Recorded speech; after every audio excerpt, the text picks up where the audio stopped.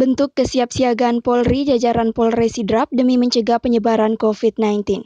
Pelaksanaan pos gabungan pemeriksaan bersama instansi lainnya di batas-batas yang terhubung dengan Kabupaten Sidrap yang telah dilaksanakan beberapa hari terakhir ini. Salah satunya pos gabungan pemeriksaan yang berada di perbatasan Kabupaten Wajo dan Kabupaten Sidrap.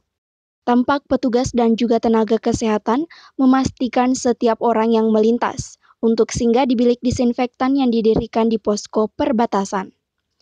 Terlihat para pengendara motor, mobil pribadi hingga seluruh penumpang bus yang lewat diminta turun dan masuk di bilik disinfektan.